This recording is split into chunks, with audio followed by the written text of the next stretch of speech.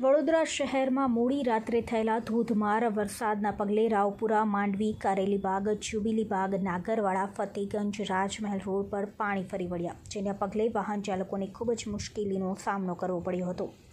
વડોદરા શહેર અને ઉપરવાસમાં ભારે વરસાદના પગલે વડોદરા શહેરની જીવાદોરી સમાન આજવા ડેમની સપાટી વધીને બસો આઠ પોઈન્ટ પચાસ ફૂટ થઈ છે.